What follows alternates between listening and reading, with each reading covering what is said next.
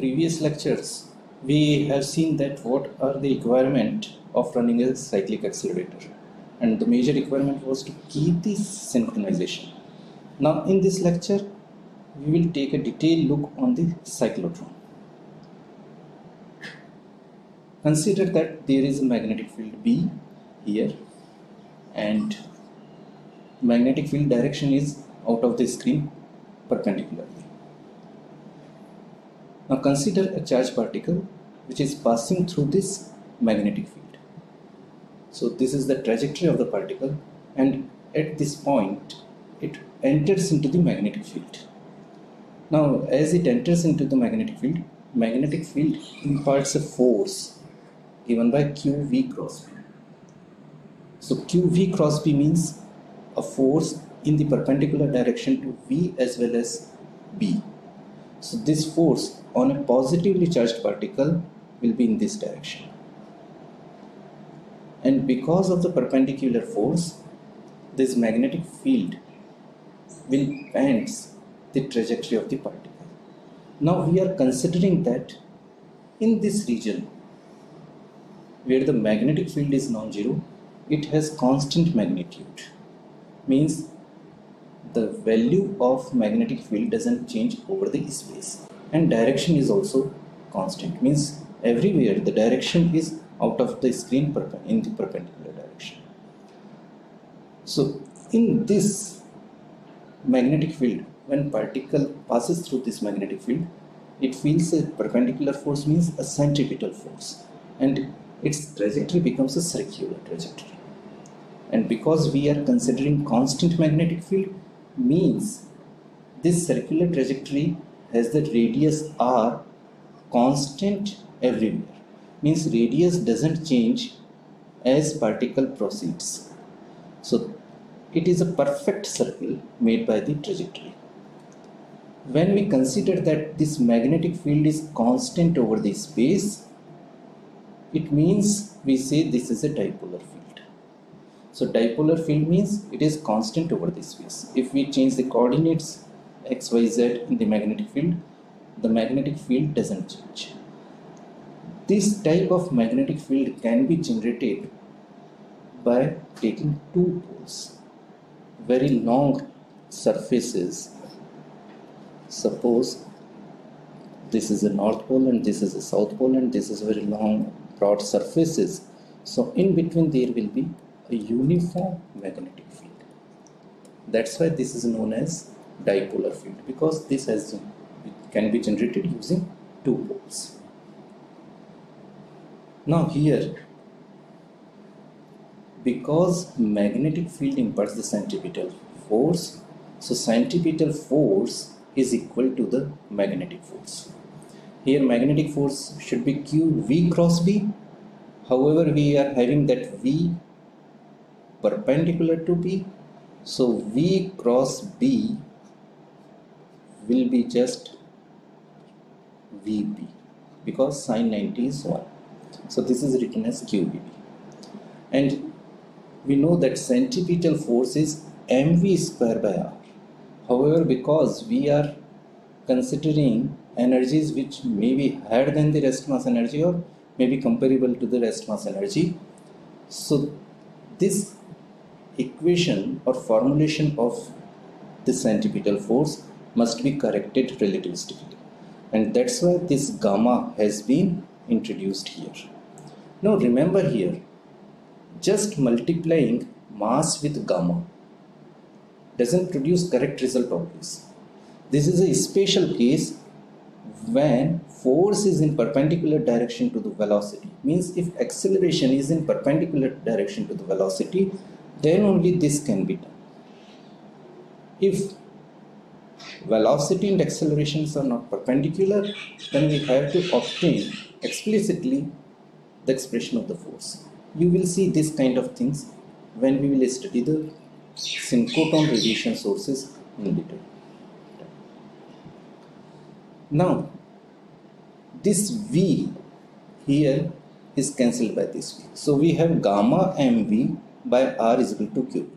Gamma mv is just the momentum p.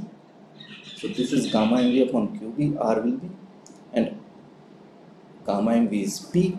So radius of this circle, this radius of this circle which is made by the trajectory of the charged particle is given by P by q Means R is directly proportional to P, momentum of the particle. A higher momentum particle will have larger radius of curvature.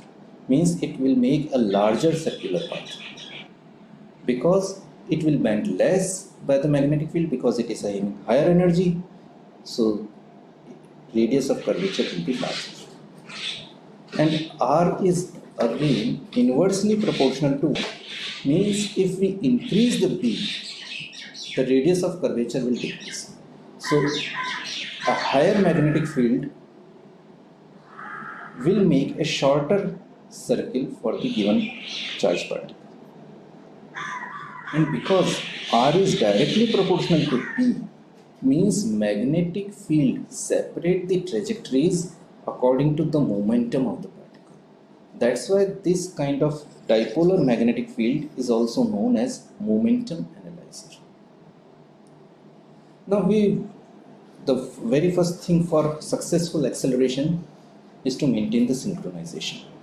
So we calculate what is the revolution time of this particle when it passes through the magnetic field. So if um, there is a magnetic field and particle trajectory makes a complete circular path or complete circle and let the radius of this circle be r so length will be 2 pi r and now we have seen that in last slide that r can be calculated if we know the magnetic field and value of the charged particles charge and v.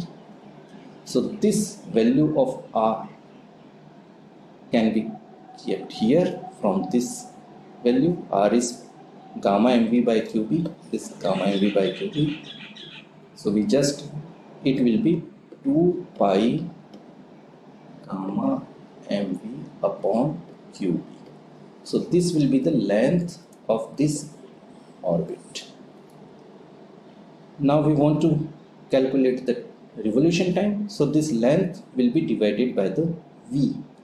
So this 2 pi gamma mv qb divided by this V. So this will give you the revolution time. Now this V cancels out. So 2 pi gamma m by qb. So revolution time you can see here depends on the rest mass of the particle which is a constant quantity q which is again a constant quantity b magnetic field which we are applying because we are applying a constant magnetic field. So we can see that B is also constant for a given configuration and 2 pi is also constant. Only T revolution changes with gamma.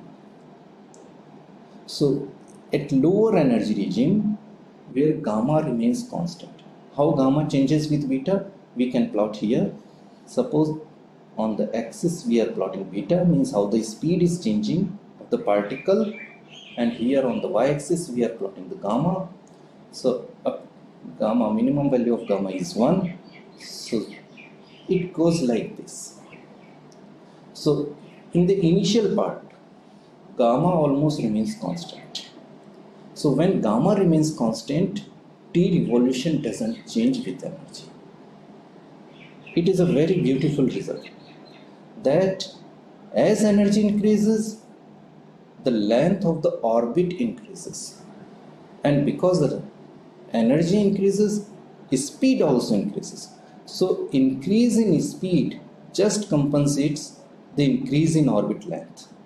And that's why t remains constant and this is true only in the low energy regime where gamma remains constant. When gamma changes this t revolution will increase with energy. So for running a cyclotron if we want to maintain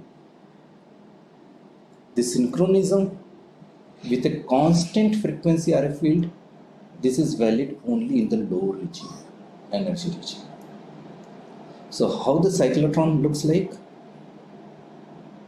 there are two big poles north and south this makes these poles make dipolar magnetic field perpendicular to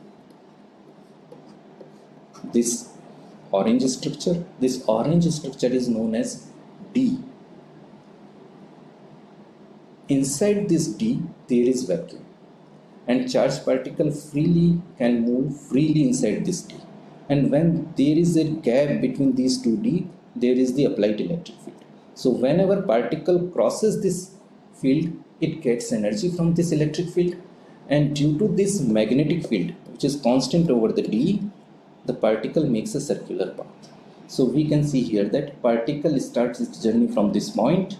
So it gets some energy from the field and then because of the magnetic field, it makes a circular path inside the D and again it crosses this uh, electric field then again it gets some energy from this electric field and it makes a larger circular path because of the increased energy magnetic field is constant so when energy increases, the radius of curvature of the path will also increase. So a larger circular path will be there in the next order.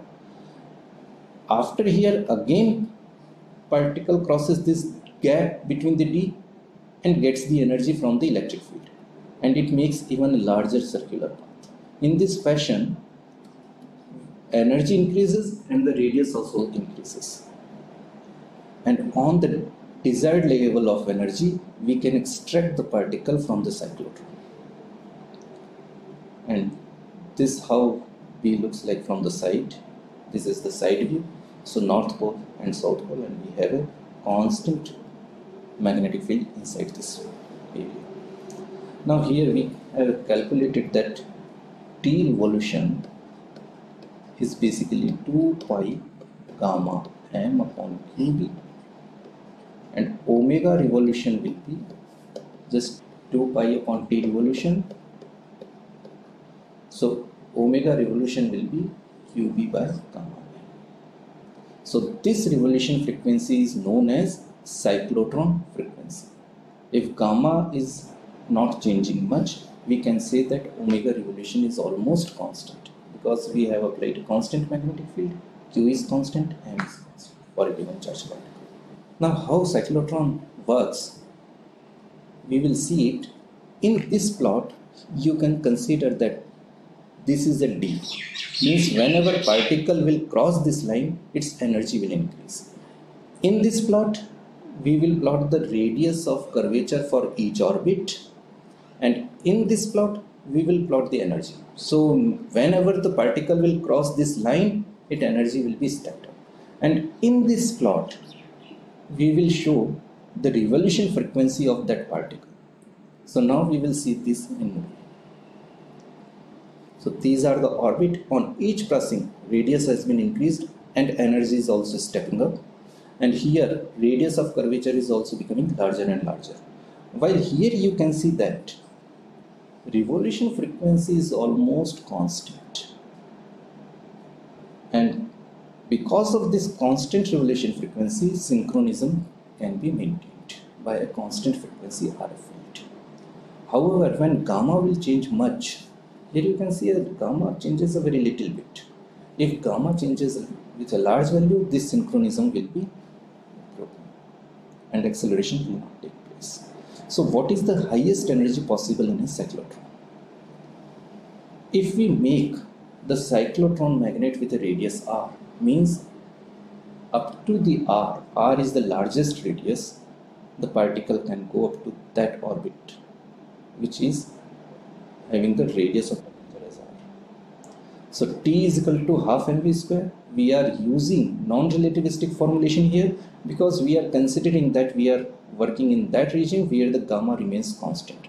So naturally we are working in the non-relativistic regime. That's why kinetic energy can be written down as half mv square. Because v is equal to omega r. Omega is the revolution frequency. So v can be written down as omega r. So it will be half m omega square r square now at the place of omega we can put qb by m keeping the gamma as 1 because we are considering that gamma is constant. So this half mv square means omega is equal to qb upon gamma m and we are considering that gamma is approximately 1 no change in gamma. Then omega will be approximately equal to qb upon m and this value has been written down. So kinetic energy will be half m q square b square r square by m square. This m will be cancelled out by m. So we have half q square b square r square by 2 uh, m. Now at the place of q we can write down q as ze means if we are accelerating some ion so charge on the ion will be z into electronic charge. And mass of the ion will be a into mass of so a is the mass number and z shows the charge state of that. So at the place of q we keep z square e square and the place of n we keep am so here e is the charge on the electron and here m is the mass on the proton so these quantities are constant and for a given configuration of cyclotron b is also constant and r we have taken the largest possible radius in that cyclotron. So r is also constant for a given cyclotron. So these quantities are constant and Z and A depends what ion we have selected and what is the charge state of that ion. So kinetic energy can be written down as K into Z square by So this K is known as K value of the cyclotron. If we are accelerating the proton then Z becomes 1 and A also becomes 1. In that case T is equal to K means k shows you what is the maximum possible value of a proton in a given cyclotron if gamma remains unchanged. So this is the maximum possible value. So we say that K130 cyclotron in the variable energy cyclotron center at Kolkata means proton can be accelerated theoretically maximum up to 130 MeV. However, we have seen that gamma changes a little bit.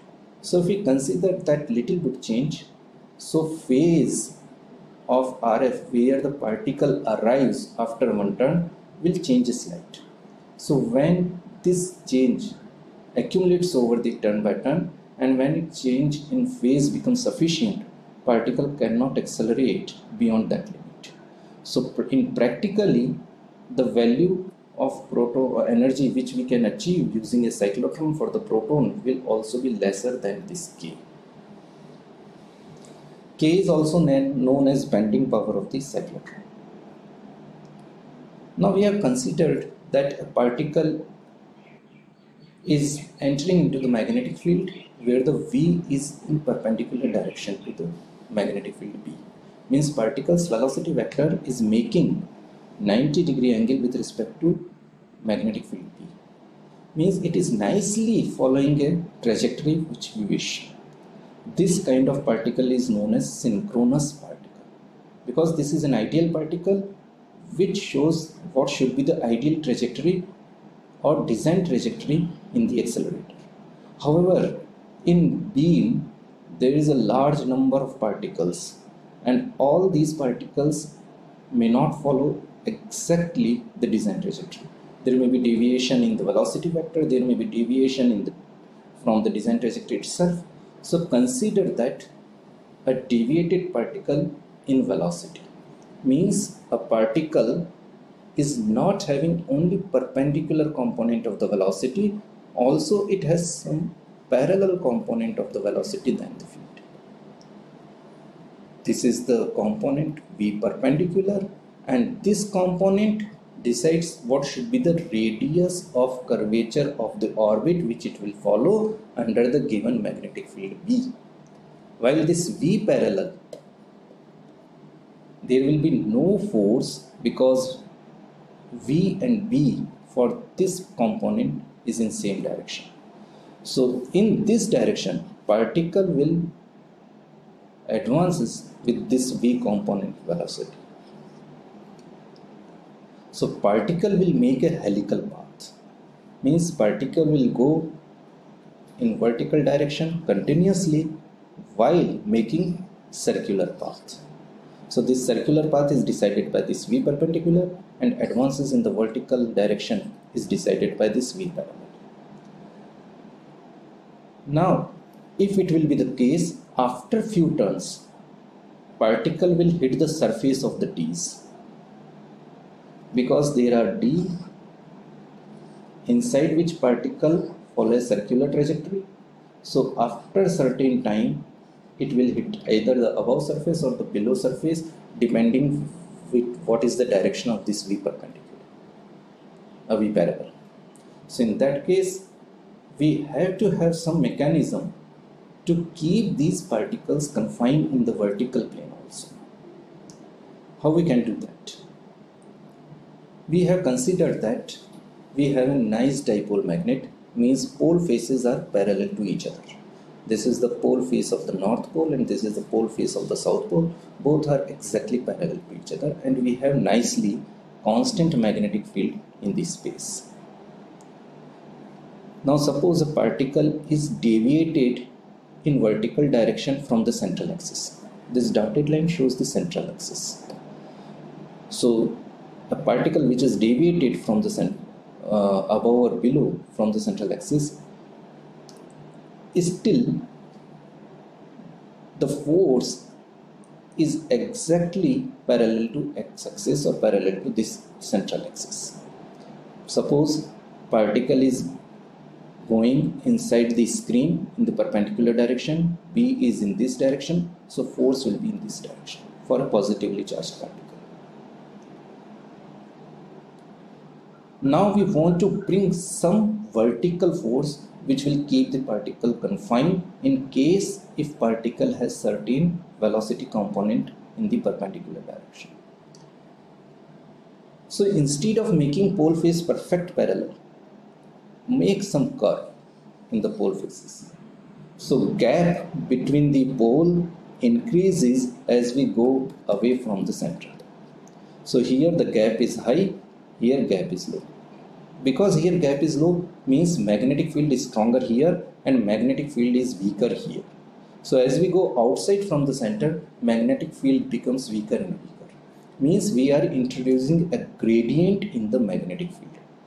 What will happen now for a particle which is deviated in the vertical direction from the central axis in this configuration of the magnetic field? We see it now suppose a particle is again deviated here now here because the magnetic field line has a curvature, so magnetic field direction will be decided by the tangent at this point. So at this point magnetic field is in this direction. So this is marked here. This is the magnetic field direction. Still we are considering that particle is going in the screen in the perpendicular direction. So force will also be perpendicular to V as well as perpendicular to. This is a 90 degree. So force now has vertical component also because force will be in this direction. So this will be the horizontal component of the force, this will be the vertical component of the force. So now we have vertical component of the force. Now here you can see that when the particle is below the axis, the magnetic field line will look like this and force will be in this direction.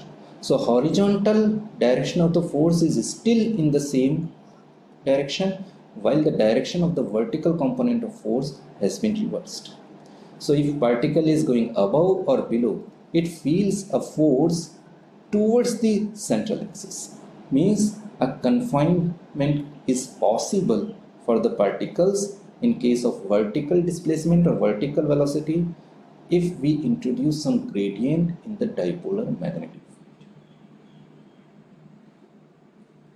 So if we introduce gradient in the dipolar magnetic field of a cyclotron, then vertical focusing is also possible. This kind of focusing, which is obtained using the gradient in the dipole magnet is known as weak focusing. In later chapters, we will see what is the strong focusing when we will consider the quadrupole magnets.